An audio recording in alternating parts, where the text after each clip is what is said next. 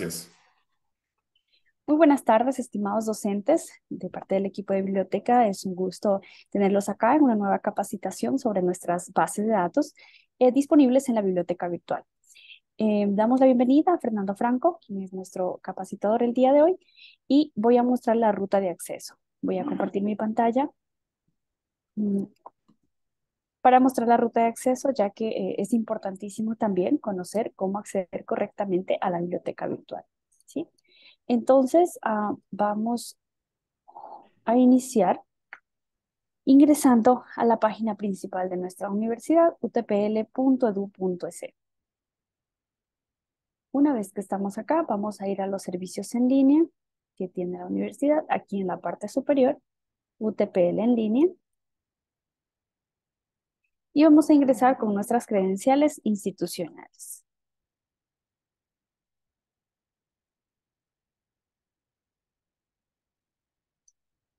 Luego de eso vamos a seleccionar el rol, en este caso docente.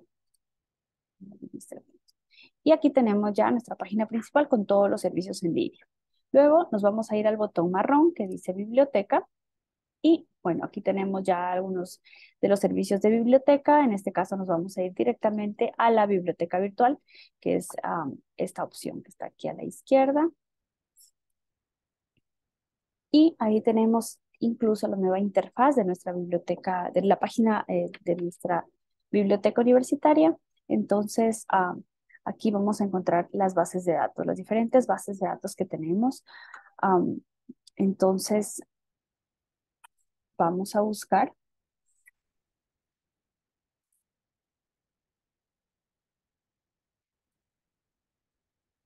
Vamos a deslizar y buscar la base de datos que, nos, que corresponde a la capacitación del día de hoy, que es Web of Science. ¿Sí? Vamos a buscarla en esta, en esta área multidisciplinaria que tenemos acá.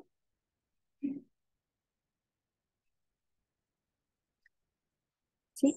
Y está al final casi de, de esta primera interfaz, ¿sí? Web of Science. Aquí vamos a ingresar Repito entonces, el acceso correcto es a través de UTPL, UTPL en línea, ingresamos con nuestras credenciales, vamos al botón de biblioteca y luego biblioteca virtual. Una vez que estamos en la biblioteca virtual nos aparece esta clasificación por facultades, pero a la derecha, en esta opción que dice multidisciplinaria, tenemos las bases de datos Ustedes saben que en algunas de ellas hay información que no solamente corresponde a una facultad, sino que comprende de varios temas, es por eso que las hemos ubicado en esta sección. Y al final está la que nos corresponde el día de hoy, que es Web of Science. Ok, entonces vamos a dar clic en ingresar. Y aquí sí, vamos a poder ya realizar nuestras búsquedas correctamente y con los lineamientos que nos va a compartir el día de hoy Fernando Franco. ¿Listo? Tenemos un momentito, simplemente que se abra la página, cargue completamente para mostrarles también que una de las señales, podríamos decirlo así, de que estamos ingresando correctamente es que eh, debe aparecer la Universidad Técnica Particular de Loja como en, en, en algún punto de la pantallita. Vamos a ver.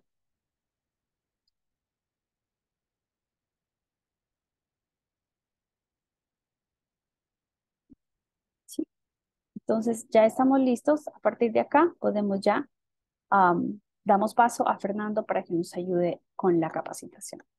Si no tienen eh, preguntas hasta ahí, procedemos y cualquier pregunta que ustedes tengan durante la capacitación, por favor, dejarla en el chat para dar respuesta a cada una de ellas. Les agradezco mucho y bienvenidos. Adelante, Fernando. Cecibel, muchas gracias por esa introducción. Muy buena tarde a todos. Me presento. Soy su amigo el maestro Fernando Franco, responsable de apoyarlos con todos los temas postventa que pudieran tener, acceso a la herramienta, onboarding, si tienen también interés sobre recibir mayor información y capacitación sobre los productos. Bueno, soy su mejor amigo para hacer todas esas cuestiones postventa, les comentaba, sobre la herramienta Web of Science, pero no solamente Web of Science, también eh, hablaremos del Journal Citation Reports, también hablaremos del gestor de referencias EndNote y bueno, de varias herramientas importantes para la investigación que nos ayudan a hacer nuestra vida más simple y no solamente para investigadores, autores que están publicando en revistas internacionales o locales, sino también si por aquí estamos eh, estudiantes o estamos docentes, también son herramientas muy útiles para todos nosotros porque aprendemos cómo eh, es la tendencia en investigación de un tema de estudio, cuál es la tendencia de investigación en mi país, en mi institución, y obviamente poder documentarme con información súper valiosa para poder respaldar mis ideas, plasmarlas en proyectos científicos y académicos como tareas, tesis, papers, cursos, clases, y finalmente darle la visibilidad que requieren esos proyectos para cruzar fronteras, para que el mundo valore mi trabajo. Y obviamente todo esto va a apoyar a la institución a subir su reputación y finalmente pues aparecer en los rankings internacionales que obviamente es el objetivo de todas las instituciones académicas y científicas del mundo. Pero todo esto se va a resumir en unos pasos que en un momento más voy a compartir. Voy a apagar mi cámara para no entorpecer la, la sesión porque se pone lento el internet. Entonces, al final regreso con mi cámara para aclarar cualquier pregunta que tengan. En ese momento voy a compartir mi pantalla con todos ustedes y les pongo pues una herramienta, perdón, una suite de soluciones que van rodeando al ciclo de la investigación, desde la planación, pasando por la gestión y finalmente la evaluación. Primero que nada, eh, posiblemente esta herramienta no la conocían y es porque hoy por hoy formamos parte de una familia más grande. Recientemente, Clarivate, que es la, empresa a la cual yo represento y es dueña de Web Science, adquirió la herramienta ProQuest, que ya vi por ahí en, en su introducción, que tienen también acceso a esas herramientas. Pues bueno, hoy por hoy Clarivate adquirió ProQuest, somos ya una gran familia y bueno, y como nueva familia también está, eh, pues se, adquieren nuevas soluciones, entre ellas Pivot, que seguramente eh, será de su interés. Quiero ser claro, me parece que no la tienen contratada, pero es una herramienta muy interesante para todo el ciclo de investigación. Anteriormente, cuando yo visitaba a mis usuarios y les daba charlas sobre Web Science, sobre EndNote, sobre el JCR, pues siempre me decían, Fernando, yo requiero que me des también, además de una herramienta para poder documentar, eh, documentarme, defender mis ideas, gestionar mis, mis, mis proyectos y luego hacerlos visibles, pues requiero que me digas dónde está el dinero de esos financiamientos internacionales. Y al final de cuentas, pues yo no tenía una respuesta porque no tenía una solución. Hoy por hoy, con esa integración que les comento de ProQuest con Clarivate, pues tenemos una herramienta llamada Pivot, que voy a hacer muy poco, voy a hacer muy poco énfasis en ella porque no la tienen contratada y mi, mi intención no es confundirlos, es simplemente decirles que hoy por hoy tenemos herramientas de financiamientos internacionales con 100 billones de dólares disponibles para estudiantes, docentes, investigadores de todas las áreas de conocimiento. Y si ustedes requieren financiamiento para una beca en el extranjero, se encuentra dentro de Pivot. Si quieren financiamiento para hacer colaboraciones internacionales, están dentro de Pivot. Si quieren dinero para poder realizar viajes al extranjero, están en Pivot. Lo mismo para poder desarrollar una tesis, una disertación, para publicar documentos científicos, para hacer investigación. Pero es el primer paso dentro de un ciclo de investigación y una serie de soluciones que tenemos para todos ustedes. Hoy vamos a enfocarnos en el paso número dos, que es Web of Science, una herramienta para defender nuestras ideas con información confiable, con información novedosa, con información impactante. A su vez, ya que tenemos un proyecto bien formado, bien sustentado con ideas valiosas, vamos a enseñarles o voy a enseñarles cómo en el paso 3 vamos a gestionar nuestras citas y nuestras referencias de una forma muy simple para poder darle crédito a quien crédito merece, utilizando información de terceros para defender las ideas que recuperé en Web of Science o en cualquier otra base de datos y después no me acusen de que hice plagio. Y finalmente, tenemos una herramienta llamada el Journal Citation Report, que es el paso número cuatro, que es la que nos menciona cuáles son las revistas internacionales, las que tienen factor de impacto, las que tienen un cierto cuartil, donde todos los investigadores y también los estudiantes de doctorado, de maestría, quieren publicar sus resultados, pero solamente unos cuantos lo logran porque son revistas muy exigentes. ¿Por qué son exigentes? Porque son las más leídas del mundo, porque son las más citadas, porque todo el mundo quiere presumir sus, descubrimientos ahí, pero les decía, solamente unos cuantos logran eh, ese privilegio. Y obviamente cuando publicamos nuestros resultados en ese tipo de revistas que son las más importantes a nivel internacional en todas las áreas de conocimiento, pues obviamente pues tengo una mejor reputación como estudiante, como docente, como investigador, y obviamente esto impulsa pues también la reputación institucional.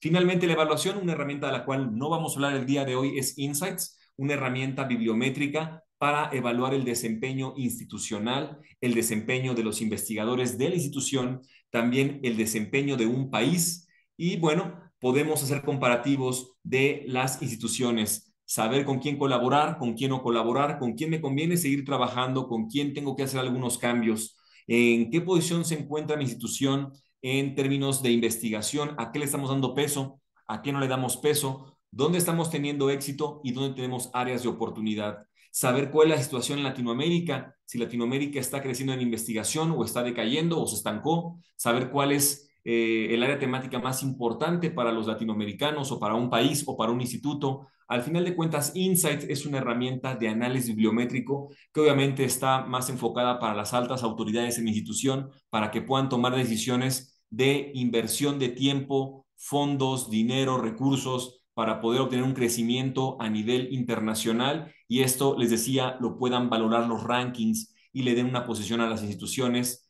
y también les ayuden a crecer en esos rankings y no decaigan en los lugares que ya han eh, ocupado en un pasado. Pero bueno, vamos a enfocarnos ahora sí lo que nos interesa. Les decía, Web Science como herramienta de documentación, una herramienta para poder defender nuestras ideas. Voy a pasar a ella. Ya les mostraron cómo ingresar a, a Web Science. Un segundo, por favor. Aquí voy a Web Science. Me estorbo aquí una ventanita. Ahí está. Me estorbo esta ventanita. Aquí está. Vámonos para acá. Aquí estamos en Web Science. Fernando, ¿por qué a ti te aparece una página donde te pide ingresar un usuario y una contraseña? Porque a diferencia de ustedes, yo no tengo acceso a un proxy.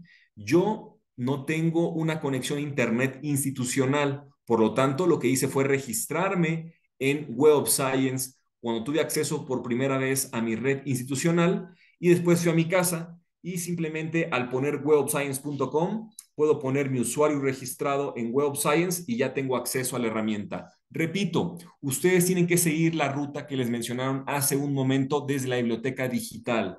Yo no tengo una biblioteca digital, yo no tengo un proxy, por eso hago uso de Web Science de forma remota, brincándome esos proxies. Entonces, una vez que ustedes hacen uso de su proxy, llegan a esta página, lo primero que van a hacer es registrarse crear un perfil de usuario.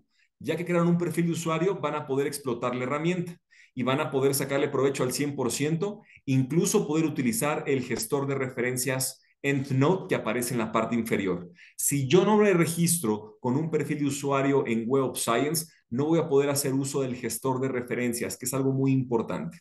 Y ahora sí, vamos a enfocarnos a la plataforma Web of Science. ¿Qué es Web of Science, Fernando? Pues muy simple es un Google con esteroides. Es el santo grial del conocimiento humano. Es donde se concentra la información más valiosa creada por la humanidad en los últimos años, en todas las áreas de conocimiento.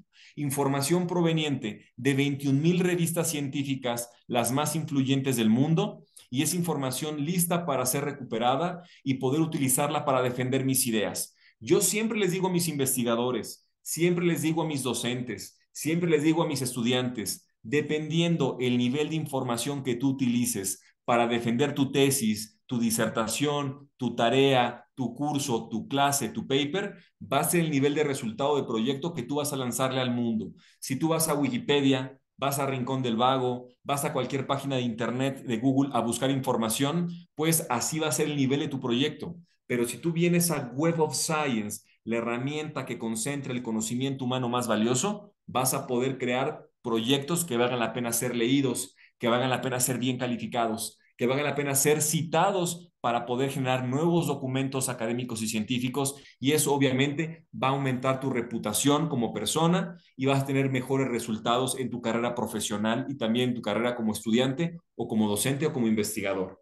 Entonces, les comentaba, estoy en Web of Science y específicamente en el portal Web of Science tengo la colección principal esta es la herramienta que, contratan el 99% de nuestros clientes para poder desarrollar proyectos académicos y científicos valiosos. Les comentaba, más de 21 mil revistas científicas que son la información más valiosa creada por el hombre. Y es muy simple de utilizar. Realmente lo que hago es venir a la herramienta, ponerle un término, porque me interesa poner eh, mi proyecto información sobre energía o tengo un proyecto de energía que quiero pues desarrollar, tengo grandes ideas, ahora requiero gran contenido y contenido brillante para poder combinarlo con mis ideas y generar un resultado que tenga un buen desempeño. Antes de continuar, quiero comentarles que Web Science, específicamente la colección principal, que es la base de datos que ustedes tienen contratada dentro de este portal, es una herramienta que tiene la receta secreta al éxito. Ah, caray, Fernando, ¿a qué te refieres? Bueno, la herramienta Web Science contiene tres ingredientes en particular.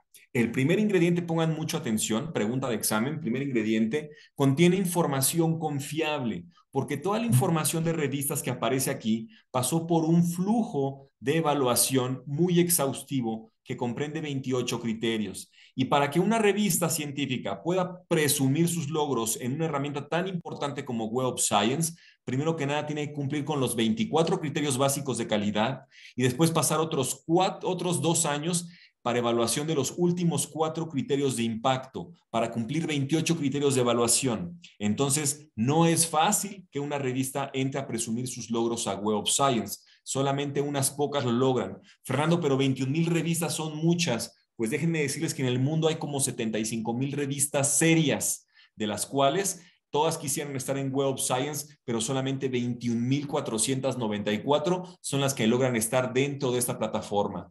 ¿Por qué? Porque nosotros somos la autoridad a nivel mundial desde 1960 evaluando el contenido que generan los investigadores del mundo para desarrollar nueva producción científica y nuevos proyectos académicos. Entonces, mi objetivo con ustedes es ayudarlos a tener de forma rápida y sencilla la información más valiosa para acelerar sus procesos académicos y científicos y también de innovación, para que pierdan, menos tiempo evaluando la información que encuentran en cualquier portal. Porque no es lo mismo venir a Web Science que ir a Google, porque Google tiene una misión muy distinta a la que tenemos en Web Science. Y si se preguntan cuál es la misión de Google, bueno, es muy simple. La, la misión de Google es ahogarnos en datos darnos la mayor cantidad de información posible para que demos clic en la mayor cantidad de enlaces posibles y ellos ganen la mayor cantidad de dinero posible por publicidad. A diferencia de Web Science, que tenemos el objetivo de ayudarlos a acelerar sus procesos académicos y científicos y de innovación, que en el cual ustedes tengan desde un solo portal acceso al conocimiento humano más valioso y tengan que dar la menor cantidad de clics para poder, obviamente, recuperar la información más valiosa y puedan sustentar sus ideas.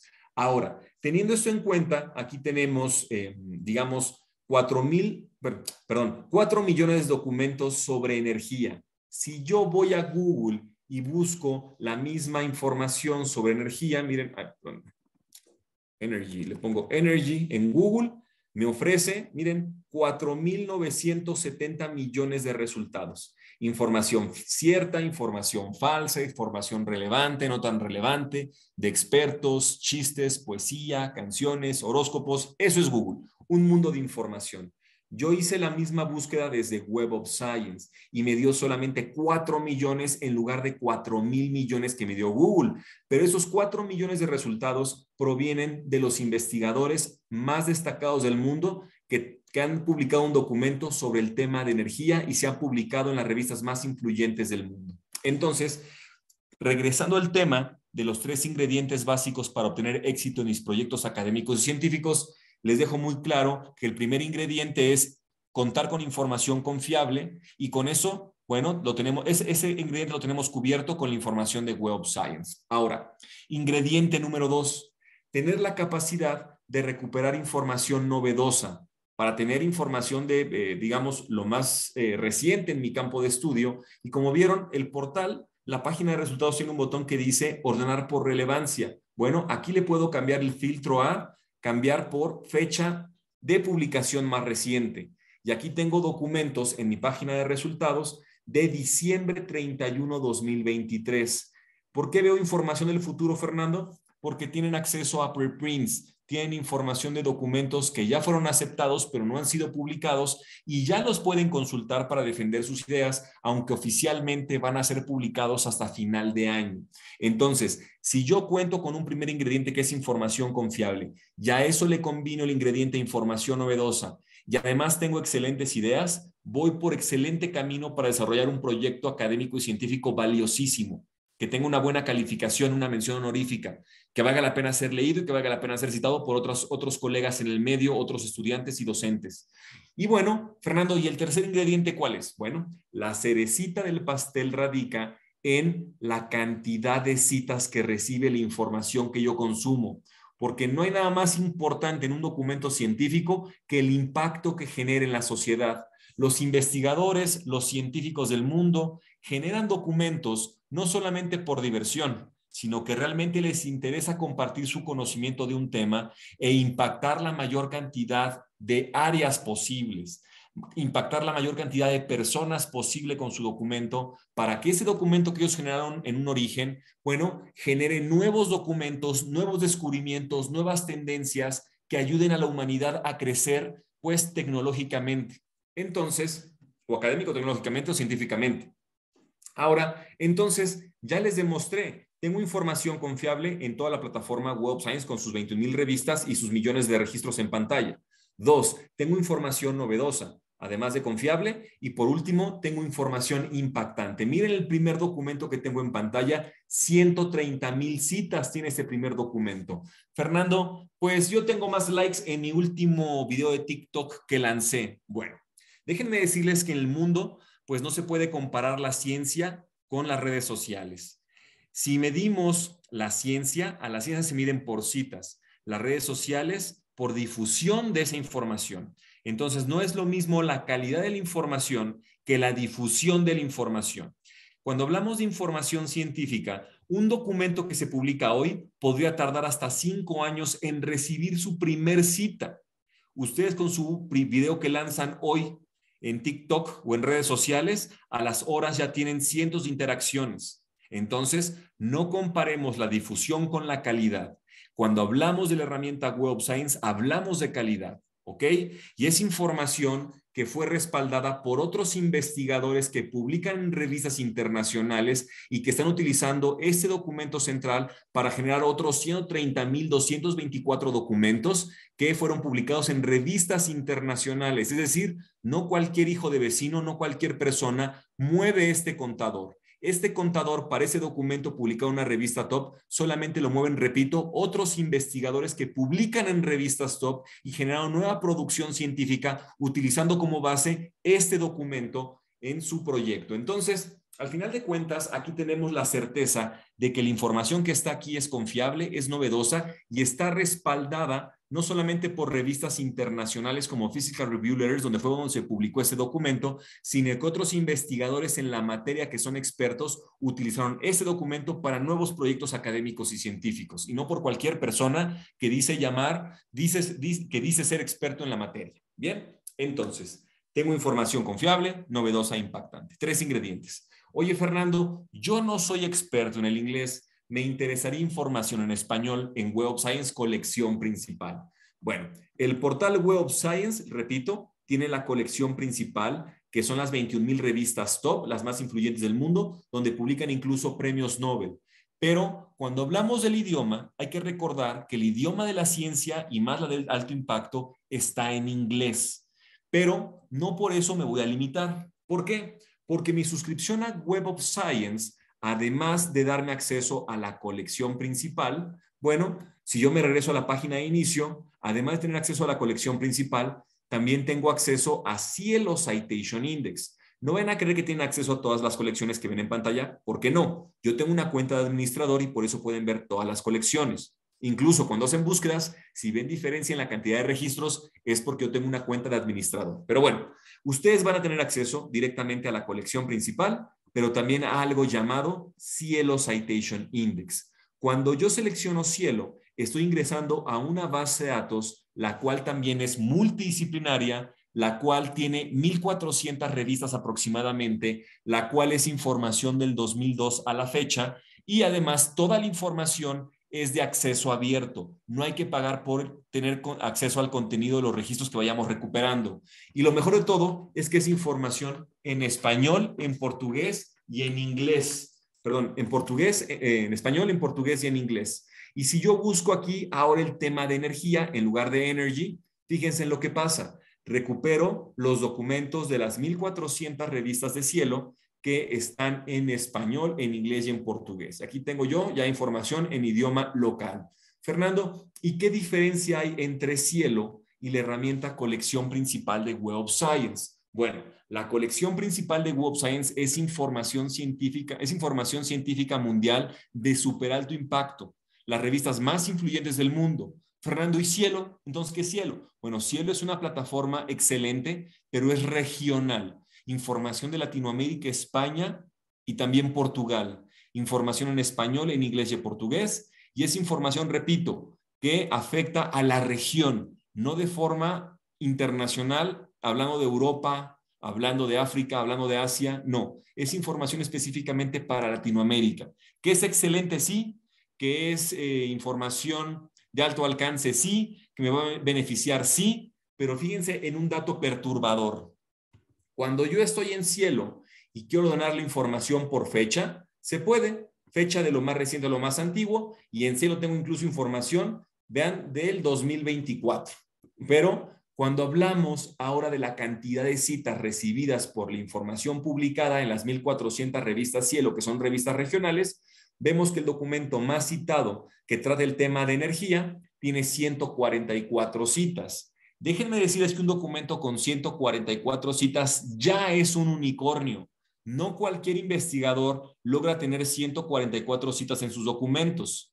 Pero si lo comparamos ahora con la colección principal de Web of Science, que es una herramienta internacional, esas 144 citas regionales, pues se ven, pues obviamente, em, muy diferentes a las 130.224 cuando hablamos de una plataforma internacional donde se publica en inglés y en las revistas más influyentes del mundo y no en las regionales. Entonces, voy a ser muy claro, no es lo mismo ser un jugador de fútbol que juega en una cancha local, que tiene seguidores locales, que vende playeras locales, eh, que agarra un cierto nivel de juego local, a ser un jugador de fútbol que se va a fichar, que se va a jugar a la Champions League con el Real Madrid, de la mano de Cristiano Ronaldo o de Messi o de Zlatan o de, en fin, de los jugadores más importantes de fútbol del mundo, donde obviamente va a vender más camisetas, va a agarrar mejor nivel de juego, va a ser más reconocido, más medios lo van a cubrir.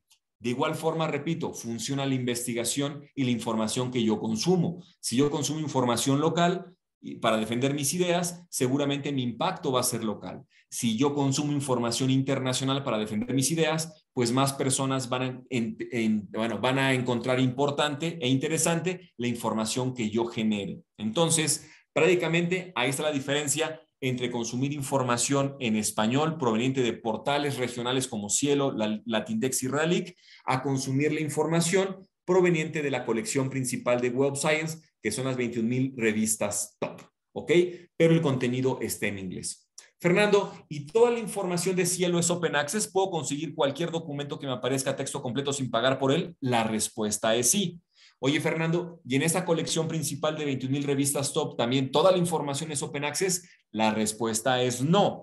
Pero hoy por hoy, cuando somos hábiles en el uso de Internet, realmente no es tan complicado recuperar la información a texto completo, incluso sin pagar por ella, utilizando formas legales, que, por favor pongan atención a lo siguiente. ¿Por qué? Porque sabemos que las plataformas tienen filtros para quitar lo que tiene costo de lo que no tiene costo. Entonces, cuando yo busco en Web of Science y me topo con una página de resultados, yo le puedo hacer la herramienta Filtrame la información por acceso abierto. De los millones que tenemos de resultados en la página, hay 1.187.214 que no tienen cobro y están a full text y fueron generados por investigadores top que publican las revistas más influyentes del mundo. Entonces, tengo mucha información valiosa. Fernando, ¿y qué pasa con la información que sí tiene cobro? Bueno, cuando la información tiene cobro, yo dependo de la suscripción que tenga mi institución. Es decir, las universidades, las bibliotecas, el departamento de adquisiciones va directamente con los editores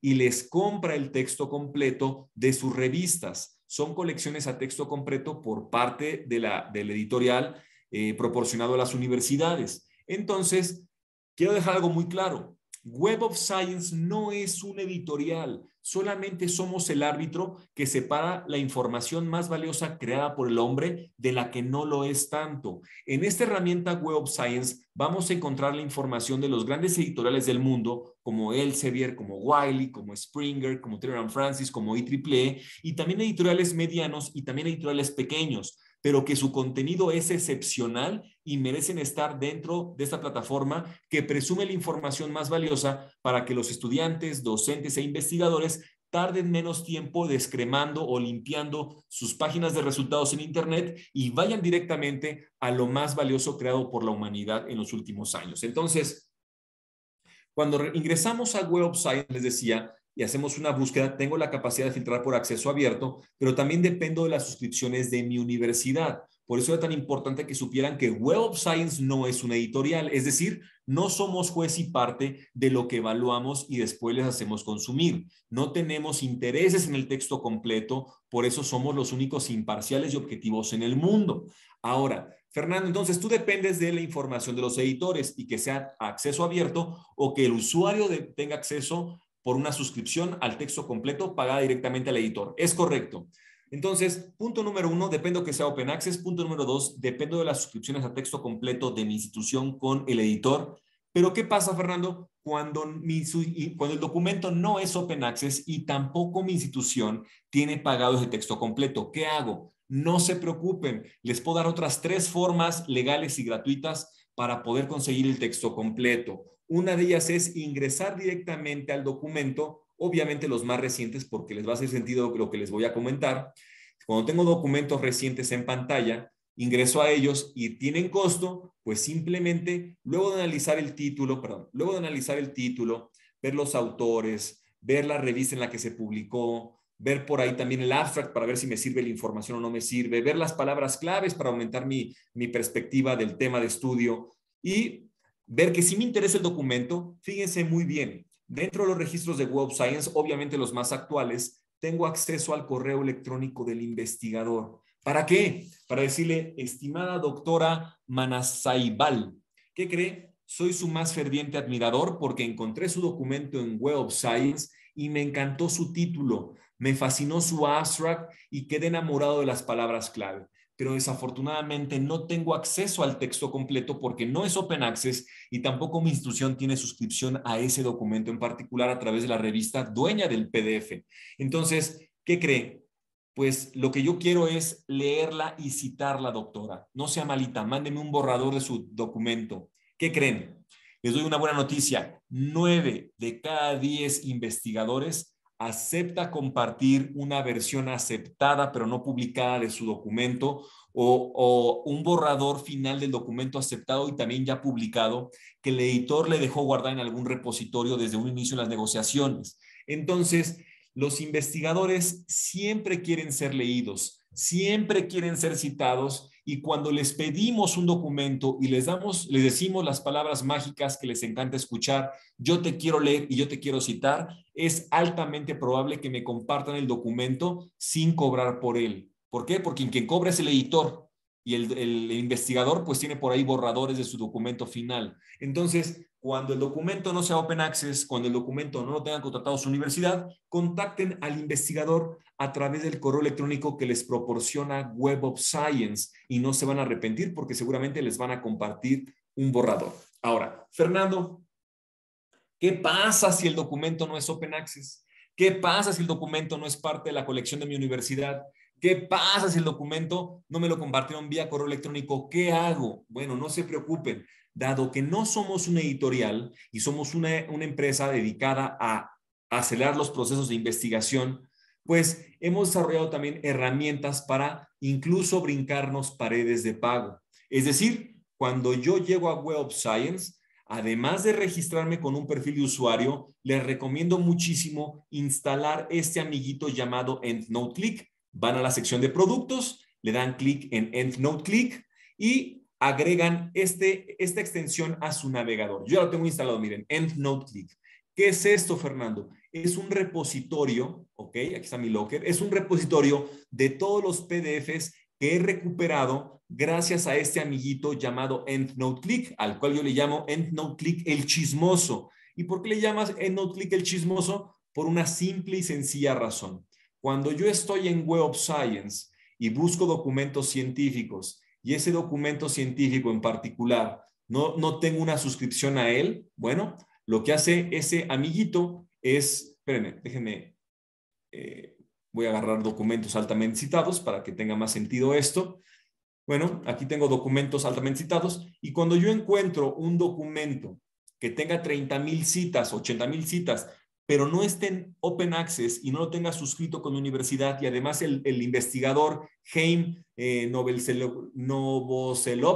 me lo compartió vía correo electrónico, no se preocupen. Al ingresar al registro, se echa a andar mi amiguito EndNote Click el chismoso y miren, aquí apareció el PDF, le doy clic y se abre mi locker con el documento a texto completo. No es una prueba, no está truncado el texto completo, tengo el documento final disponible sin pagar por él. Oye, Fernando, pero ¿cómo que no pagaste por él? No, no pagué por él. Si se dan cuenta, este documento de Rise of Graphene, que le pertenece a la revista Nature Materials, bueno, tengo el enlace directamente al editor, al dueño del documento. Y si le doy clic ahí, me lleva a Nature Materials. Y miren, otra vez, EndNote click el chismoso. Le doy clic y me lleva el texto completo desde la página del editor. Fernando, pero el documento es Open Access. No, miren, regreso a Nature Materials y si voy un poquito abajo, me está pidiendo 39 dólares por el documento que EndNote Click el chismoso me está dando sin pagar nada por él.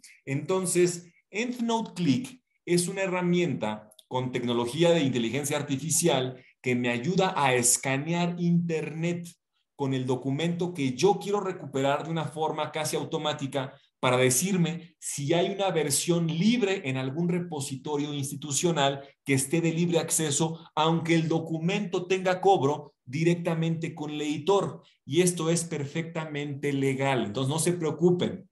Entonces, ya les mostré una forma más de recuperar información a texto completo sin pagar por él, brincándome paredes de pago. Oye, Fernando, ¿y EndNote Click es la solución a todos los PDFs de texto completo que yo requiera y no tenga suscripción y no quiera pagar por ellos? No. La respuesta, repito, es un rotundo no. Es una muleta a las colecciones de la universidad, es una muleta al Open Access y es simplemente una herramienta más que me podría ayudar en caso de que encuentre una versión aceptada del documento que a mí me interesa y que tiene costo. ¿Ok? Entonces, ahí van tres, ya tres opciones o cuatro opciones y de hecho una quinta. Acérquense a su biblioteca, porque al final de cuentas las bibliotecas tienen convenios con otras bibliotecas, tienen lo que se le llama conmutación interbibliotecaria, que es simplemente el préstamo de documentos entre universidades. Es decir, la UNAM tiene un documento eh, que un investigador o un estudiante o un docente quiere allá en Ecuador y yo como UNAM se lo comparto a la UTPL, pero igual el día de mañana que la UTPL tenga un documento que me interesa a mí como UNAM, la UTPL me la manda a mí como UNAM y tenemos sus convenios de préstamo de documentos. Eso se llama conmutación o préstamo de documentos y que si requieren tener esos convenios, también me pueden contactar porque mi empresa Clarivate ahora, al haber adquirido ProQuest, le podemos ofrecer a, los, las universidades o centros de investigación o tecnológicas o politécnicas una herramienta llamada, em, se llama, se llama, eh, eh, eh, ahí se me fue el nombre, mm, Rapid ILL, se llama Rapid ILL, es una nueva herramienta que justamente les da los contactos de las universidades que tienen préstamo de documentos y ustedes se suman a esos directorios para pedir o solicitar documentos científicos que no contratan y que sus usuarios llegan a la biblioteca a pedirlos, pero ni hay ni presupuesto para comprar la revista ni para pagar por PDF, pero tengo una herramienta suscrita con Clarivate, la cual me ayuda a tener el directorio y a saber los convenios que hay entre universidades para préstamo de documentos que me podrían hacer falta a mí y a mi comunidad académica y científica. Repito, el producto se llama Rapid ILL, ILL.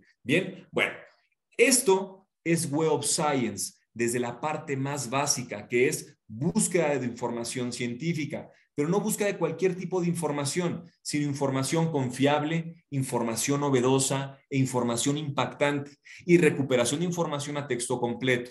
No lo mencioné porque está de más, pero del lado izquierdo tenemos incluso unos filtros importantes que nos ayudan incluso a encontrar documentos que rompen récords de citas o que marcan tendencia de investigación y que podrían ser incluso ganadores o candidatos a un premio Nobel. A ese nivel estamos hablando de la calidad e impacto de información que está en Web Science ya almacenada.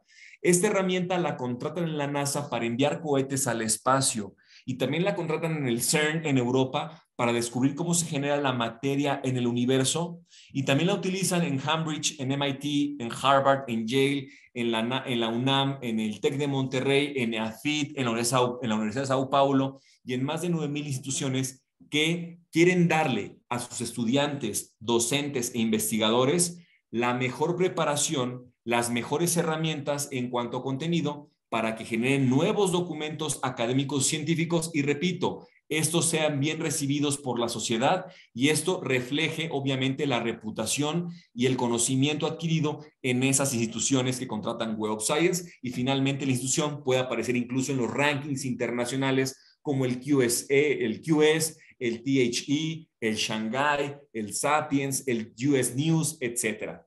Pero bueno, además de filtros por cantidad de citas, impacto, premios Nobel, tenemos también por acá otros filtros por autor, por año, por tipo de documento, que si quiero artículos, que si quiero abstract, quiero capítulos de libro o quiero información de energía específica, específicamente enfocada en química o energía específicamente de combustibles, energía específicamente de ingeniería eléctrica y electrónica. Entonces, tengo muchos filtros que puedo aplicar a estos cuatro millones de resultados de mi búsqueda principal que fue energía. Entonces, esta es la herramienta que les vengo a presumir como la parte básica de su suscripción.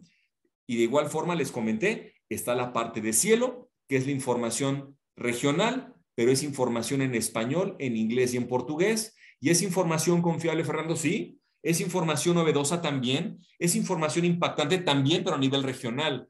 No la comparen con la internacional, pero es ahí empezamos todos los investigadores, publicado en revista Cielo, que son excelentes, pero cuando nos queda corta la cancha regional, vamos y brincamos a la parte internacional, que son las revistas de la colección principal de Web Science, donde publican los investigadores más destacados. Y es ahí donde vamos a consultar nosotros como usuarios, como docentes, como estudiantes, como investigadores, la información para respaldar nuestras ideas. Ahora, Fernando, me quedó claro. Entonces, pues tú me mostraste una cadena en la cual, pues, primero hay que conseguir financiamiento, pero para eso hay que contratar la, herramienta. Si les interesa contratarla en caso de que no la tengan, porque no, no sé todos los clientes que tiene eh, eh, ProQuest, si no la tienen, me pueden avisar y les damos una prueba demo de un par de semanas para que puedan ver los 100 billones de financiamiento que hay en el mundo para estudiantes, docentes, investigadores. Por aquí vamos a encontrar las becas que tiene Tesla, que tiene la NASA, financiamiento de Microsoft, financiamiento de IEEE, de Wiley, de Springer, de Elsevier, incluso financiamientos de Clarivate para estudiantes y docentes e investigadores. Queremos las empresas regalar mucho dinero. Faltan manos levantadas para recuperar ese financiamiento adicional que va de la mano con los proyectos institucionales, porque al final de cuentas, con una herramienta como Pivot, pues ya quitamos el pretexto de mi universidad no me quiere respaldar. ¿Por qué? Porque ahora depende del usuario buscar el financiamiento que existe en el mundo, porque Pivot es un directorio de convocatorias y financiamientos internacionales. Pero bueno, repito, no sé si lo tengan contratado o no, si lo tienen, explótenlo, es excelente herramienta para conseguir dinero adicional, pero ya les expliqué el paso 2. Tenemos Web of Science, tenemos una herramienta con información confiable, novedosa e impactante. Les mostré cómo conseguir el texto completo de forma legal y ahora sí, vamos a brincarnos en el proceso del ciclo de investigación a la parte de gestión, a la parte del gestor de referencias. Una solución que me va a ayudar a recuperar, a agrupar y aplicarle un formato a mi bibliografía. Incluso me va a ayudar a insertar las citas de una forma muy simple para que yo pare de sufrir cuando me pidan el formato APA el formato Chicago, el formato Vancouver, el formato IEEE, el formato ISO 690, el formato ICONTEC. Hay más de 6.000 estilos bibliográficos dentro de EndNote. Y a EndNote yo le llamo el Ferrari de los gestores, porque en cuestión de dos minutos yo le puedo dar formato a mis proyectos insertando la referencia en el estilo que me lo hayan solicitado. Ya les mencioné algunos. Y vamos a pensar que tengo un proyecto en manos sobre energía. Fernando ya me enseñó que en Web of Science, colección principal, está la información más valiosa del mundo en, en, el tema de mi interés. Porque más no lo dije, pero Web of Science es una herramienta multidisciplinaria. Van a encontrar información de física, química, matemáticas, agronomía, óptica, nanotecnología, derecho, negocios, computación, marketing, lo que se les ocurra, aquí lo van a encontrar. Y ahora, ya que tengo información valiosa para mi campo de estudio, ¿qué hago? Pues la primera función del gestor de referencias EndNote es recuperar. De hecho, miren, voy a ir a la sección de productos, voy a ir a EndNote, lo abro y la herramienta me va a decir sus funciones. La primera función que me va a dar el gestor de referencias, ahorita que cargue la página, va a ser la opción de recuperar. La herramienta la puedo pasar a español. Un segundo, por favor. Ahí está. Listo. Miren, primer función, recopilar. Segunda función, organizar. Tercer función, aplicar formato. Pero yo estoy en la sección de mis referencias, la cual le va a mostrar la bibliografía recuperada de Web of Science o de cualquier portal, incluyendo Google Académico o incluyendo Elsevier, Wiley, Springer o cualquier revista o libro, porque yo puedo almacenar mis referencias en esta plataforma para después verlas reflejadas en citas y referencias en el estilo deseado en mis proyectos académicos y científicos. Aquí yo tengo un documento guardado de un proyecto anterior. Entonces, la primera función es recuperar. La segunda función es agrupar. Miren, aquí yo tengo varios grupos ya creados para no confundir eh, proyectos o tareas o tesis o papers y tengo varios grupos creados. Y bueno, tengo una referencia guardada. Esta la voy a eliminar para que no nos cause ruido. La selecciono y la elimino. Listo. Mi bandeja de entrada, la que recupera toda la información nueva, está en ceros, ¿cierto? Ahora sí, me regreso a Web of Science. ¿Y qué creen? Voy a recuperar una, una referencia, porque la quiero dentro de mi gestor de referencias. Pero antes de eso, miren, tómenme el tiempo. Son 3.53 horario mexicano, casi 3.54. Y 356, acabo el ejercicio. Recuperar, agrupar, aplicar formato a 200 referencias. Bien, miren, aquí está. Son 354 horas Ciudad de México y tómenme el tiempo. Primer paso, recuperar. Selecciono una referencia. Le doy clic en exportar dentro de Web of Science y lo mando a mi cuenta en línea. No tengo la de escritorio. Desktop no la tienen. Solamente fíjense en la online. La selecciono, y puedo enviar un registro seleccionado o puedo enviarle hasta 500, vamos a poner 200.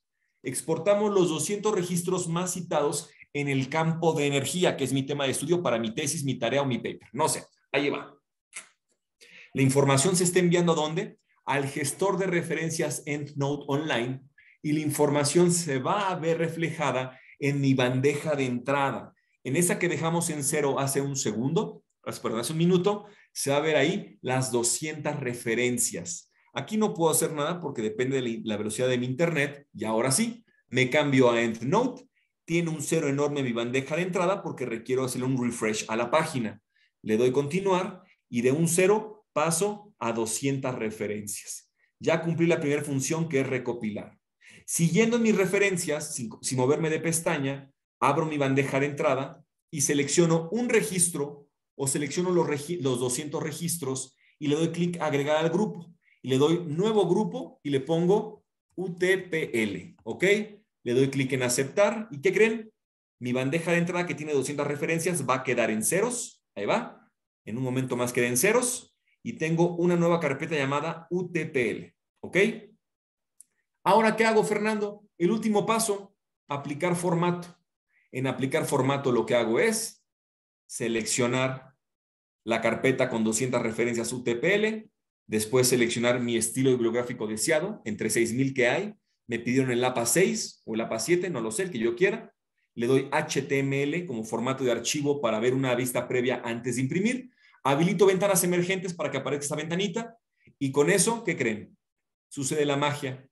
Y sucedió la magia en dos minutos con 10 segundos tengo 200 referencias en estilo APA 6 y yo jamás me preocupé si el autor va primero, si luego va el año, si luego va una coma, un guion. Yo me preocupo solamente por el deporte nacional del estudiante, que cuál es, control copy, voy a Word, control paste y listo. Aquí tengo yo mis documentos en formato APA 6 que voy a utilizar para defender mis ideas porque cité la información que aquí había. Entonces, ¿qué les pareció?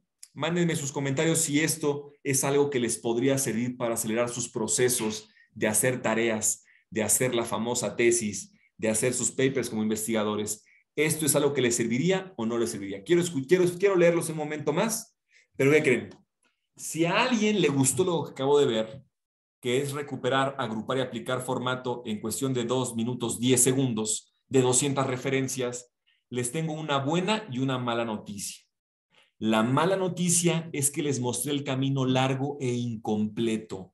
Ah, caray, Fernando, ¿cómo que largo e incompleto si fueron dos minutos y le diste formato APA 6 a 200 referencias casi en un parpadear? Bueno, la buena noticia es que les tengo un camino más corto y más completo. Ah, caray, Fernando, ¿eso cómo es? Pues ahí le da, miren. Ahí va mi tesis sobre energía nuclear, mi paper, que va directamente a la revista Science. Y me pidieron, me dijeron, obviamente, citar y referenciar, no solamente referenciar. Entonces, miren, aquí llegó el punto en el que pues, estoy citando a un, un investigador. El Voy, bueno, esta, esta frase está citando al investigador eh, Zucker con ese documento del 2003. ¿Bien? ¿Qué creen? Pues tengo que citar y referenciar, ¿cierto? Hay que darle crédito a quien crédito merece. Entonces, miren, aquí tengo un botón que dice EndNote. Al darle clic en EndNote, se empieza a conectar mi cuenta de EndNote con mi, con mi Microsoft Office Word. Fernando, me pidió un usuario y contraseña cuando apareció ese cuadrito de conexión. Sí, yo les comenté, es muy importante registrarse en Web of Science para tener acceso a EndNote. Cuando ustedes le pican por primera vez a este botón, les va a pedir un usuario y contraseña luego de instalar el plugin en Word. ¿Qué usuario y contraseña utilizo? El que registré directamente en mi herramienta de Web of Science. Este registro que hicimos en Web of Science es el que me da acceso a EndNote en línea, pero también me da acceso a poder loguearme a este botoncito cuando lo instalo en Word. ¿Y ahora qué hago, Fernando? Pues ya me logué, ya lo instalé, ya tengo listo la conexión entre mis carpetas de EndNote de UTPL con 200 referencias y Word. ¿Qué hago? Bueno, le doy clic en insertar citación, le pongo Dr. Zucker y ¿qué creen? Aparece el documento del Dr. Zucker de mi carpeta de EndNote, UTPL y se inserta la cita y la referencia. ¿Y qué creen?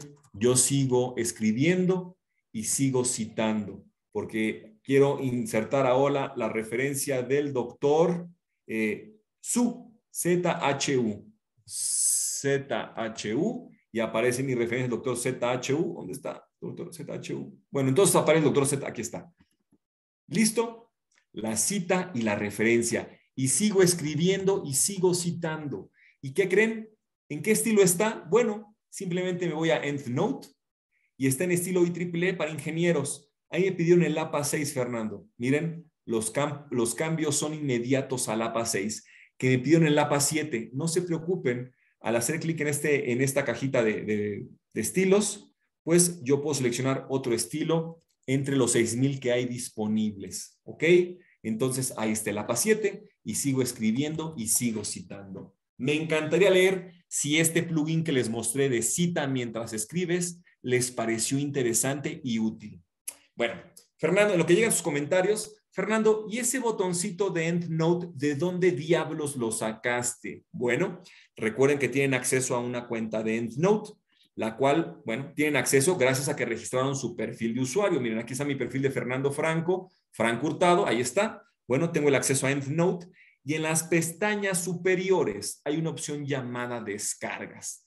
En descargas, bueno, tengo la opción de seleccionar cita mientras escribes, tanto para Mac como para Windows. Entonces, yo decido si tengo sistema operativo Windows o Mac y al darle clic en el de Windows, me permite descargar este plugin llamado EndNote. Clic, bueno, EndNote, cita mientras escribes, que es el mismo que se ve reflejado cuando abro, EndNote, abro Word y ya tengo este botoncito que al darle clic me pide un usuario y una contraseña para hacer la conexión. A mí no me lo pide porque ya lo guardé, lo tengo como favorito, es usuario y contraseña. Y finalmente, ya me permite buscar la información que guardé en mis carpetas creadas en EndNote en línea, específicamente las 200 referencias que guardé en la carpeta UTPL. Entonces, díganme si no es maravilloso esto.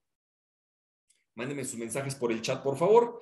Y si por ahí alguien pregunta, no hizo los mensajes, pero si alguien pregunta, Fernando, ¿y cuál es mejor? Mendeley, Sotero, RevWork, EndNote. Al final, todos son gestores de referencia. Si me preguntan, ¿qué carro me lleva eh, de aquí a, la, a la farmacia más cercana? Pues cualquier auto con gasolina, volante y cuatro llantas. De igual forma, cualquier gestor te va a llevar en recopilar, organizar, aplicar formato. Va a depender de los usuarios con cuál se familiaricen, cuál les guste más, con cuál sientan más cómodos. EndNote lo vieron en 2 minutos 10 segundos, le di formato a 200 referencias y tengo ese botoncito llamado cita mientras escribes en Word que me ayuda a ir escribiendo mi documento y, y vamos ingresando la cita y la referencia. Pero bueno, eso es EndNote, una herramienta que me ayuda a recopilar, organizar y aplicar formato a toda la información que recupero dentro de Web of Science como portal, dentro de la colección principal, pero también desde Cielo, para poder facilitarme la vida. Ahora, em, si me preguntan, Fernando, em, ok, me quedó claro el punto de recuperar financiamiento con Pivot, si es que lo tienen contratado.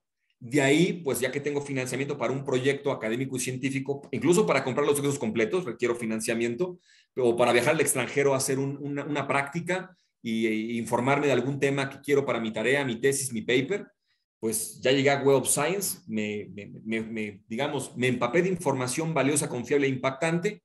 Ya utilicé EndNote para defender mis ideas, dándole crédito a quien crédito merece y después no me acusen de plagio. Y finalmente, aquí tengo el Journal Citation Report, una herramienta que también toca ver el día de hoy, que es una herramienta muy simple, la cual me va a ayudar a identificar cuáles son las revistas internacionales más leídas y más citadas para que yo como investigador pueda presumir mis logros. Porque nunca va a ser lo mismo publicar de forma regional que publicar de forma internacional y ya expliqué por qué. Un jugador de fútbol regional tiene cierta cantidad de cobertura por los medios, cierta cantidad de, seguidores, cierta cantidad de ventas de camisas. Un jugador que está a la talla de Cristiano Ronaldo y Messi, pues imagínense cómo lo cubren los medios y la cantidad de millones que ganan. Es igual en la ciencia. Dependiendo de la plataforma donde yo publique mis resultados, va a ser la cantidad de visibilidad que va a tener mi proyecto, la cantidad de lectores, citas y fama que me podría generar. Entonces, Fernando, pues a mí me están pidiendo para mi maestría, mi doctorado, mi, postdoctorado o como investigador, que para obtener buenos resultados, obtener una calificación incluso, para, para poder titularme, me piden pues publicar mis resultados en alguna revista indexada con un cierto cuartil o que tenga factor de impacto. ¿Qué hago? Muy simple. Ustedes tienen dentro de Web of Science una herramienta llamada el Journal Citation Reports, una herramienta que tiene las 21.000 revistas científicas más influyentes del mundo en ciencias, en sociales y en artes y humanidades. Tres áreas principales que engloban 255 categorías entre ellas física, química, matemáticas, agronomía, óptica, nanotecnología, computación, negocios, derecho, leyes, eh, etcétera. 255 áreas. Bien, todas las que existen en el mundo, aquí están. Pero ustedes saben que no es lo mismo jugar en el Real Madrid que jugar en un equipo local. Por lo tanto, vamos a enfocarnos en los equipos del Real Madrid cuando somos estudiantes o investigadores en una cierta área de estudio. Estoy en el Journal Citation Report y a mí me interesan las revistas específicamente de la categoría de agronomía, porque soy agrónomo o soy estudiante de agronomía y quiero titularme con un paper publicado en alguna revista científica, porque así me, me, lo, exigieron. O soy investigador y quiero publicar mi paper en agronomía porque quiero ser leído de forma internacional. ¿Qué hago? Vengo a JCR, veo que son 21.494 revistas, pero tengo un filtro, el cual me permite no eran 255 categorías, eran 254, corrijo lo que dije anteriormente. Y aquí aparecen las 254 áreas de conocimiento. Tengo la categoría de agronomía, la selecciono, voy a la parte inferior, le digo, aplícame los cambios para agronomía y ahora sí, tengo 124 revistas de agronomía que están dentro del Journal Citation Reports y son revistas internacionales. Y tenemos su factor de impacto. El factor de impacto está representado por las siglas GIF. Esto es Journal Impact Factor. Y aquí tenemos el cuartil para cada una de esas revistas. Entonces, cuando me exijan como investigador publicar en revistas con un cierto cuartil o que tengan un factor de impacto o que sean revistas indexadas a nivel internacional, ahora conozco el Journal Citation Reports y puedo venir a él a identificar qué revistas son las que, bueno, podrían aceptar mi paper. Oye, Fernando, ¿y en cuál me conviene publicar mis resultados? Si hay 124 revistas, son las top del mundo en agronomía, ¿cuál me aceptaría mi paper?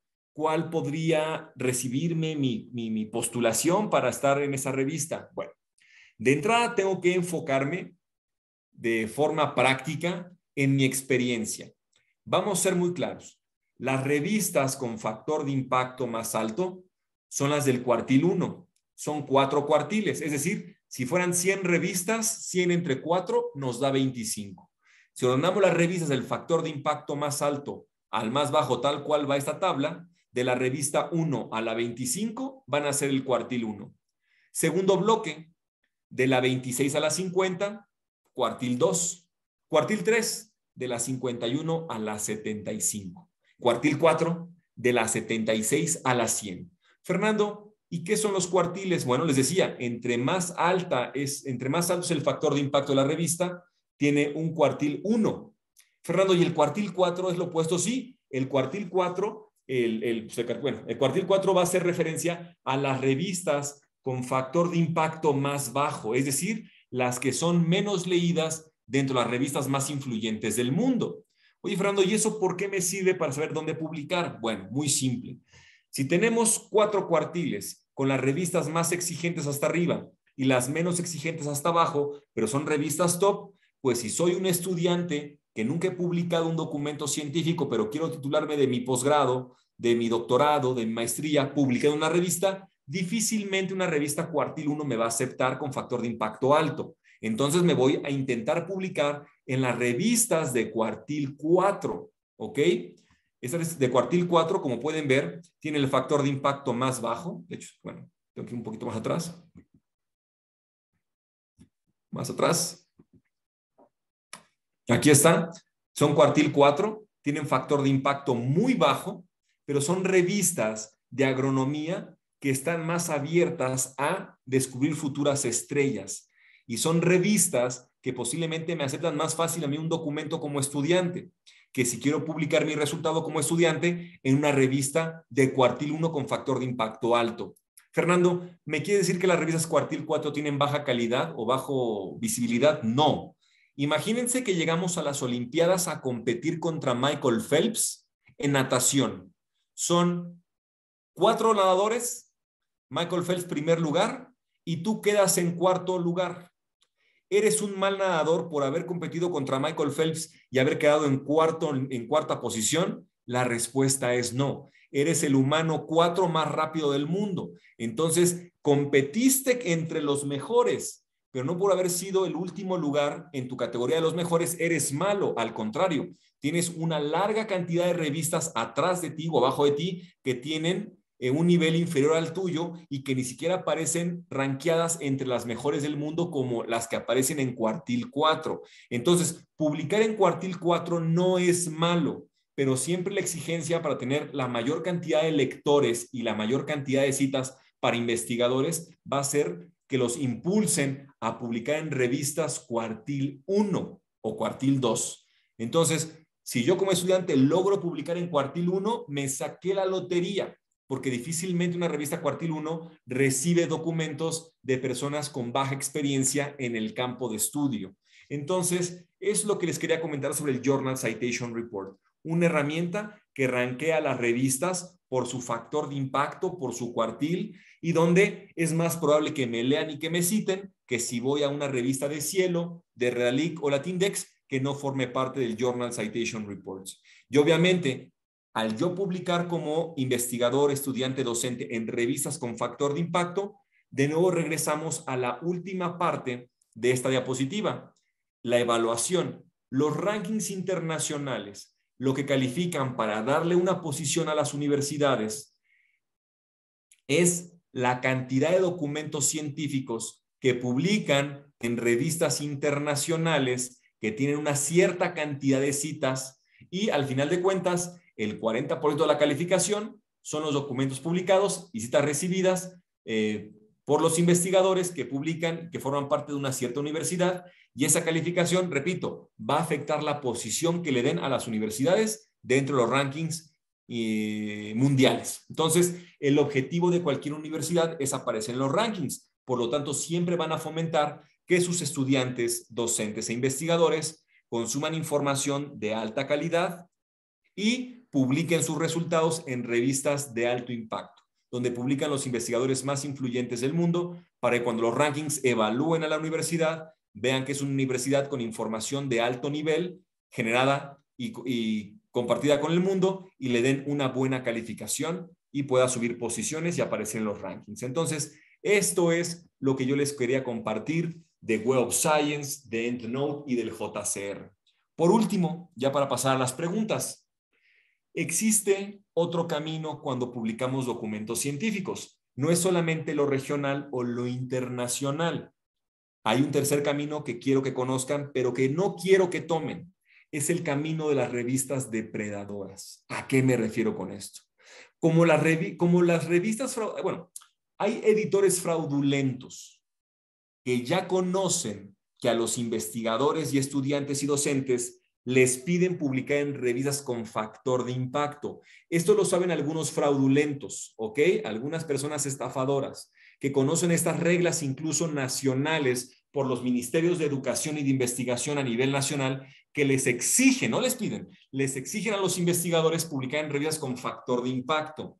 Eso algunos fraudulentos lo conocen y crean páginas de internet con revistas falsas, donde le presumen a los usuarios menos experimentados que su revista tiene factor de impacto, que su revista tiene revisiones por pares cortos de una semana o dos, cuando una revisión por pares de un documento científico que está postulado para ser publicado podría tardar hasta seis meses en, ser aceptado o ser rechazado por una revista internacional como las que aparecen aquí. Entonces, te prometen un factor de impacto que es aclamado por, los, ministros los ministerios de investigación y la vicerrectora de investigación. Te presumen tiempos de evaluación muy cortos de tu documento, cuestión que no es verdad. Te presumen un comité editorial de expertos en la materia e incluso premios Nobel. Y te presumen una, infinidad de lectores y de citas al mes.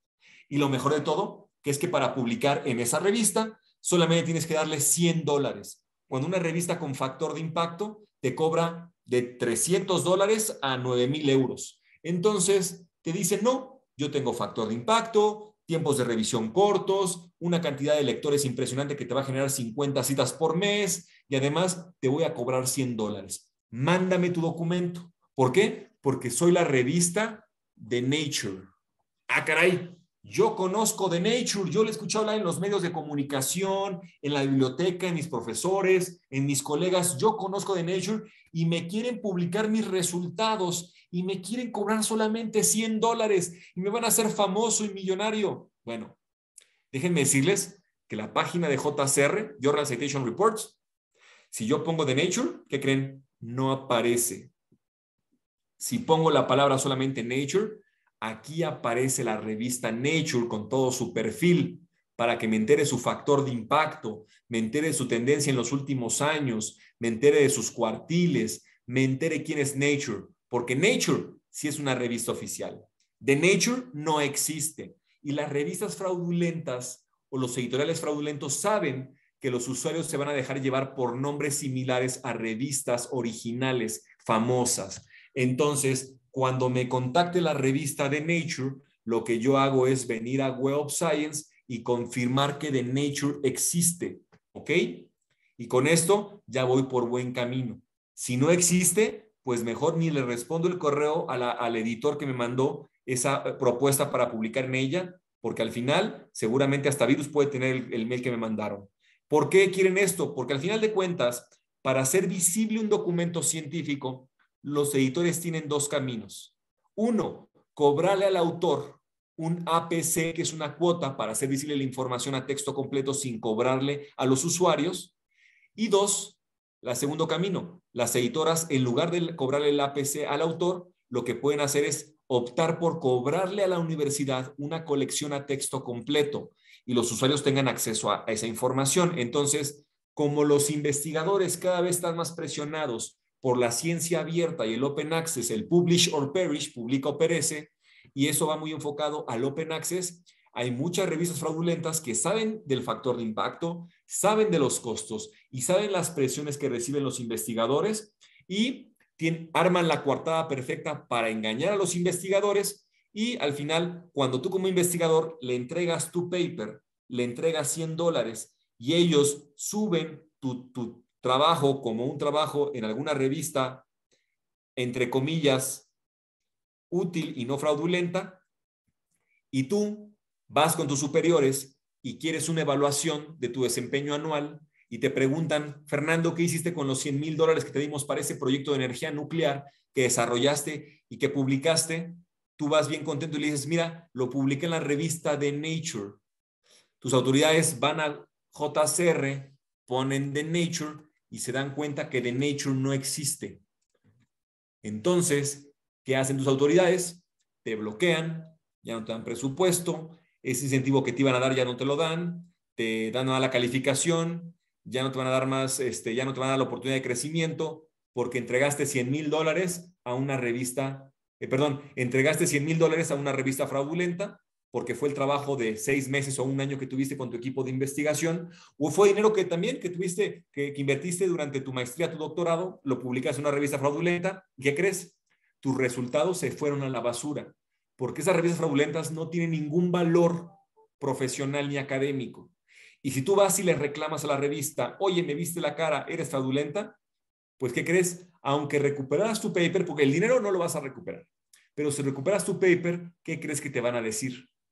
Bueno, si tú este paper, esta, esta tesis o esta disertación la quieres publicar en una revista oficial que sí tenga factor de impacto, porque te diste cuenta que la regaste anteriormente con la revista fraudulenta, la revista nueva en la que quieras publicar tus resultados te va a querer cobrar, perdón, te va a pedir que le cambies el 60% del contenido de tus resultados finales, porque un documento que ya se postuló para una revista y el documento fue aceptado y se puso en los medios o se puso en internet o en alguna revista, aunque sea fraudulenta, está obligado el autor a cambiarle aproximadamente, bueno, más del 60% del contenido. Entonces, prácticamente se a la basura tu proyecto, tu tiempo, tus recursos, eh, etcétera, cuando caemos en las garras de revistas depredadoras. Entonces, cuando una revista te contacte y te presuma factor de impacto, lo primero que haces es venir al Journal Citation Reports, porque es la única herramienta en el mundo que tiene el derecho de presumir el factor de impacto de las revistas. Somos los creadores y los dueños de esa métrica. Y es una métrica reconocida a nivel internacional. Entonces, con esto, pues les dejo pues ya un aprendizaje importante no se dejen engañar por revistas fraudulentas, revistas depredadoras, que lo único que quieren es su dinero. No quieren su paper, quieren su dinero, pero a su vez se ven afectados con el contenido porque ya no pueden publicarlo en otra revista a menos de que le cambien 60% de su tesis, su paper, etc. Y bueno, ahora sí, regreso con ustedes para saber si alguien tiene alguna eh, duda, alguna pregunta, algo que quieran ustedes eh, aclarar, el micrófono es todo suyo o si alguien está revisando eh, el chat y tenga las preguntas acumuladas, lo puede hacer. Aquí tengo el chat yo. A ver, buenas, Fernando, un saludarte, les saludo equipo, ok, empezamos cinco minutos, déjenme ver las, las preguntas ahora sí, porque mientras presentaba no tenía acceso al chat. Eh, ¿EndNote Click funciona de manera similar a Sotero Mendeley? No. Mendeley en lo particular jamás les va a dar un EndNote Click. ¿Por qué? Porque EndNote Click es un recuperador de texto completo sin pagar por él y Mendeley le pertenece a Elsevier y Elsevier es un editor el cual les quiere cobrar todo el texto completo posible. Nosotros no somos una editorial. Pero ahora, si hablamos de EndNote, EndNote como gestor sí es similar a Sotero y a Mendeley. Porque una cosa es EndNote Click, el recuperador de texto completo sin pagar por el, por el documento, y otra cosa es el gestor de referencias EndNote, sin la palabra click, ¿ok? Y EndNote como gestor sí es similar a Sotero o a Mendeley. ¿Cuál es mejor? El que ustedes quieran. Si les pregunto qué es mejor, un Ferrari, un Lamborghini o un Bugatti, pues bueno, si ves que vas con familia, pues te puedes ir en el, ah, bueno, no es cierto, en un, un Ferrari, un Bentley o un, no sé, o un Fórmula 1, pues el Fórmula 1 es para una persona, se adapta a los, a los solteros, pero si voy con familia, pues un Bentley es cómodo, es rápido, es lujoso. O un Ferrari, si quiero ir con mi pareja, eh, un descapotable, los tres tienen llantas, los tres tienen volante, los tres usan gasolina, los tres tienen asientos y te llevan de un punto A a un punto B. Entonces, los gestores van de acuerdo a mis necesidades. Los tres van a recuperar, los tres van a agrupar, los tres van a aplicar formato. Ya les mostré el Ferrari que es EndNote. Puede escribirlo al que mencionó para ver el directorio. Puede escribirlo, no sé, no sé qué se refiere, si me ayudan a aclararlo, se los voy a agradecer. ¿Cómo aplica la inteligencia artificial para encontrar información? Bueno, no conozco el algoritmo, pero simplemente lo que hace EndNote Click es mapear o escanear Internet a través del DOI. Cada documento tiene un código único llamado DOI, el Digital Object Identificator. Y con ese DOI del editor que me quiere cobrar por ese documento, lo que hace en NoteClick es escanear Internet con ese código, con esa cédula, con esa matrícula que es propia de un documento y no se repite con otro documento, me dice si en el mundo, está escondido, en el mundo de Internet escondido un documento de libre acceso eh, y que yo pueda explotar sin pagar por él. Acabo de ingresar a Web of Science. Me registré, pero aún no me envían mi correo de link de validación. Ok. Cuando ingresen a Web of Science y se registren, chequen la bandeja de correo no deseado, por favor, porque muchas veces llega ahí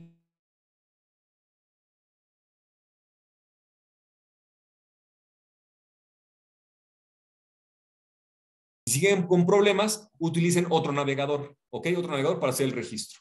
Si siguen con problemas, avisen la biblioteca, si no se pueden registrar, avisen a la biblioteca, ellos me contactan a mí porque posiblemente puede ser un problema general de configuración del proxy. Eso no tiene nada que ver ustedes, pero podemos ayudarlos a solucionarlo. Wow, qué buena herramienta, qué bueno que les gustó, excelente la herramienta, pero tengo que subir mi documento para o para que la herramienta me permita organizar y agruparme. Sí, obviamente sí. Pues si yo quiero usar la herramienta, pues tengo que alimentarla. Y, y les mostré la fórmula más simple desde Web of Science, pero ahora fíjense muy bien, si yo voy a Google Académico y tengo un documento científico, un paper, algo que me gustó sobre cualquier tema, pues también lo puedo mandar a EndNote. Miren, este documento de Batis B me interesa. Lo quiero mandar a EndNote. Miren, aquí dice citar. Le doy clic en citar. Eh, Fernando, perdón, no estamos viendo tu, su pantalla. Ah, perdónenme, sí, lo quité para, para compartir otras cosas. Un segundito, ahí les va, discúlpenme. Screen. Miren, me regreso. Fui a, fui a Google Académico busqué virus, pero igual puede ser Wiley, puede ser Springer, puede ser Elsevier, puede ser cualquier revista científica. Todos los portales tienen la opción para citar la información en formato APA, chico, Bien, aquí está. Yo fui a Google Académico, corrí una búsqueda y lo que hago es darle clic en citar y aparece el botón que dice EndNote. Le doy formato EndNote y miren, se guarda en mi escritorio un archivo llamado Scholar ENW o también puedo guardar el refman, que es más común. El refman también lo lee EndNote y es en formato RIS, R-I-S, Escola RIS. Le doy guardar. ¿Qué guardé? El documento de hepatitis B. Regreso a EndNote. Y en lugar de poner cualquier cosa, le doy recopilar. En recopilar, le doy importar referencia y lo que hago es cargar ese archivo que guardé desde Google Académico. Selecciono archivo, le doy scholar.ris, aquí está, por aquí, scholar.ris, ¿dónde lo puse? Scholar.ris, ay, no sé dónde lo guardé. Aquí está, Scholar. Selecciono el archivo RIS porque es la extensión de mi archivo RIS, ahí está, Scholar RIS, así lo guardé yo. Entonces la extensión es RIS, ahí está. Y finalmente le digo, mándamelo a mi bandeja de entrada. Por aquí lo quiero ver, el documento de hepatitis B de Google Académico lo acabo de jalar desde Google Académico. Y ahí está, mira, bandeja de entrada llamada sin archivar. aprendiendo del virus hepatitis B. Depreciado Paul B, traído desde Google Académico. ¿Ok? Aquí está del, del virus. Entonces, yo lo puedo exportar directamente desde Web of Science mis registros hacia EndNote, seleccionando la información dándole clic EndNote Online, porque Web Science es parte de EndNote y EndNote es parte de Web Science, es una misma plataforma, un mismo dueño de la plataforma, hay una conexión directa y le doy exportar, pero si encuentro una plataforma con información valiosa para mi proyecto que no sea Web Science, recuérdenlo, todas las plataformas tienen el botón que dice citar y me permite guardar el archivo en formato RefMan o EndNote para poder importarlo a mi cuenta de EndNote, ¿ok? Si quieren esto más despacio, lo pueden ver en el video, se está grabando la sesión, ¿ok? Entonces, eh, retomando las preguntas, ahí les va. Eh, ah, ah, vamos a ver. Pero tengo que subir, ya lo arreglaré. Siguiente, link de herramienta, Fernando. Muchas gracias. Saludos, extraordinaria. Nos quedamos con el link de la grabación, por favor. Sí, eh, yo no tengo el link, lo tienen las autoridades, lo tienen por ahí quien gestionó la sesión. Sí. lo tiene. Ya les había comentado que eh, la capacitación está siendo grabada y que va a ser subida al canal de, de YouTube de la biblioteca. Ok, bueno, ahí está. Eh, ¿Por qué no hace un ejercicio desde el principio para obtener texto completo del tema? De, no, bueno, ya lo pueden hacer ustedes, ya les mostré cuál es el flujo. Ahí está, háganlo, lo dejo como tarea. Estimados docentes, la capacidad. Ok, ya se mandó ahí el mensaje de la grabación. Gracias, pero me registró web. Ok, ok, ya les dije. Quien no les dé el, link, si alguien se registró y no le llegó el link a su correo, revisen la bandera de correo no, correo no deseado. Esa es la primera indicación. Si es un problema general, que varios les pase lo mismo, Cecibel, me ayudas a, allí a monitorear que no es un problema general. Si lo es, me avisan y puede ser un problema de la configuración de su proxy. ¿Ok? Emerald, una revista de impacto. Emerald no es una revista, es un, eh, digamos, gestionan revistas, pero bueno, eh, Springer sí es una editorial también, Springer Nature, la revista Nature es, Nature es Springer. Entonces, ahí vamos a encontrar revistas de Springer, de Nature, de IEEE, Terran Francis, revistas están también en Emerald, en fin, de todos los editores, vamos a encontrar las revistas, pero solamente las más influyentes y las más impactantes del mundo. Buenas tardes. Una vez que ya bajamos la cita mientras escribes la, ¿cómo lo hacemos a Word? Nada más, una vez que ustedes van a Word hacen, perdón, una vez que van a EndNote, obvio tienen que ingresar con usuario y contraseña. Y lo muestro desde el inicio. Ahí les va. Eh, ingreso a Web of Science, ¿ok? Como lo explicó Cecibel. Voy a la sesión de productos. Abro mi cuenta de EndNote. Obviamente, me tuve que registrar con usuario y contraseña, ya lo mencioné. Abro mi cuenta de EndNote y voy a la sesión de descargas. En descargas, encuentro al lado izquierdo, Cite while you write o cita mientras escribes descargo el plugin de Windows o de Mac y cuando lo descargo, lo instalo. Es el, clásico archivo que se guarda en mi bandeja de entrada en, o en mi escritorio, que es un archivo con extensión .exe, es un archivo ejecutable. Al darle doble clic, se empieza a instalar el archivo en mi computadora. Y es el clásico archivo que al abrirlo dice, una ventana emergente dice siguiente, siguiente, siguiente, siguiente, finalizar, reiniciar computadora y al reiniciar la computadora ya tengo en Word este botón y al darle clic por primera vez me va a pedir un usuario y una contraseña que es el mismo usuario y contraseña de mi cuenta de EndNote, que a su vez es el mismo usuario y contraseña de mi registro en Web of Science. ¿Ok? Entonces, que eso, por favor, quede muy claro por ahí y vámonos a la sección de ya. Y creo que esa fue la última pregunta que tenían. Si alguien tiene alguna otra pregunta, por favor avísenme abran su micrófono, no, sean tímidos, láncela al aire. Yo con todo gusto la aclaro. Si alguien tiene comentarios sobre la sesión, les gustó, no les gustó, les va a ayudar, no les va a ayudar, por favor, compártanla. Mi consejo es, usen las herramientas que les compartí el día de hoy. Si no se usan, se cancelan, por más buenas que sean para apoyarlos. Entonces, díganme si fue clara mi explicación, díganme si les va a funcionar. Eh, regístrense en Web of Science, hagan búsquedas, dejen de ir a Google, a Wikipedia, enfóquense en la información más valiosa del mundo. Yo tengo una pregunta, perdón que lo interrumpa. Adelante, adelante, Luz, Treyes, te escucho. Eh, ¿Qué significa cuando usted, usted presenta un artículo en un congreso internacional y le dicen que está indexado en otro? Esa es la evaluación que le dan, indexado en otro. ¿Qué significa eso? ¿Indexado en otro? A ver, repítame la pregunta. Yo digo, presenté un artículo internacional en, un congreso internacional. Y aquí me lo evalúan como indexado en otro. ¿Qué ¿En dónde te lo evalúan? Indexado en otro. Aquí en la universidad. Ah, no sé. Cada universidad tiene sus políticas. Al final de cuentas, yo no sé cuáles son las políticas de la universidad y cuáles son los, digamos, los niveles para poder decirte fue en otro o fue en uno en particular.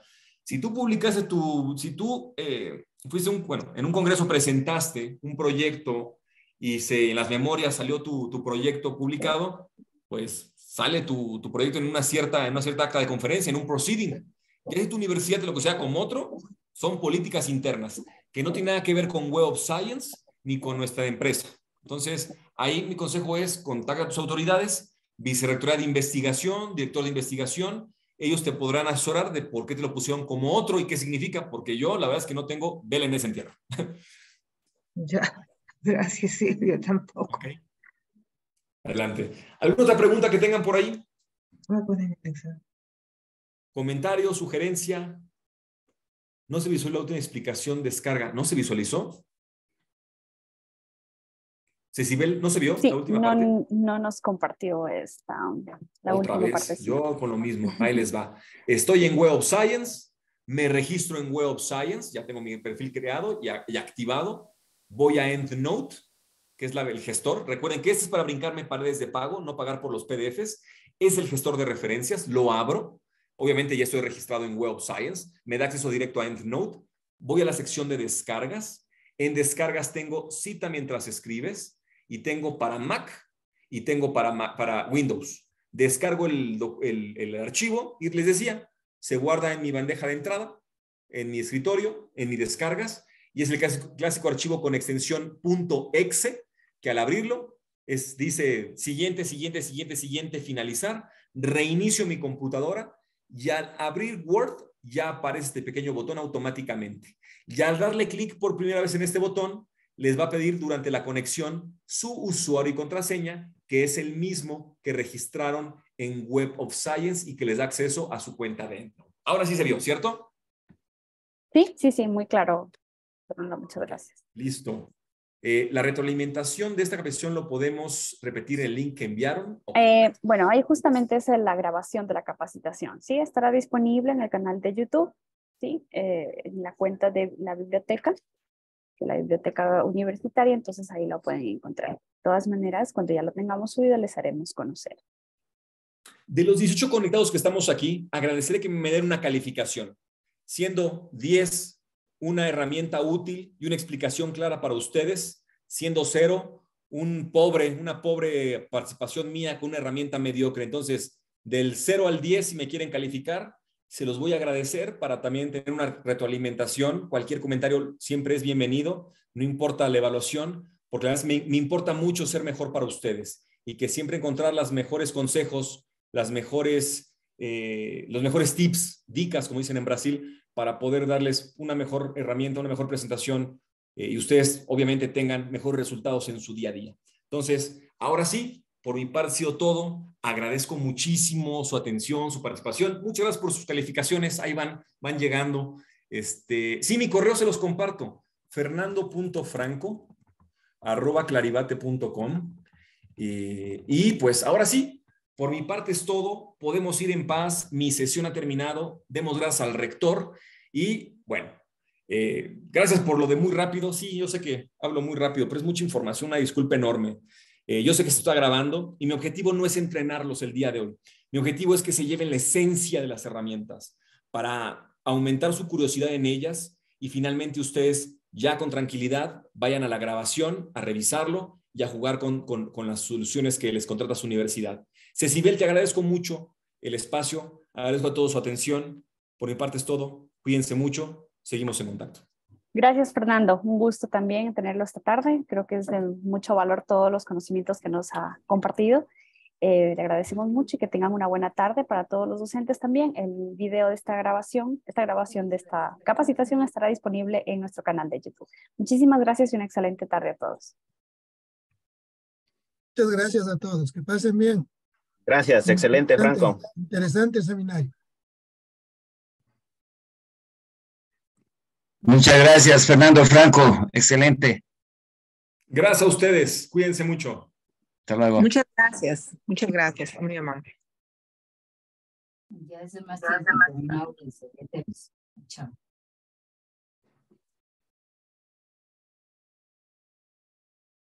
Gracias, doctor. Esta mañana. Mañana pagan un valor de 225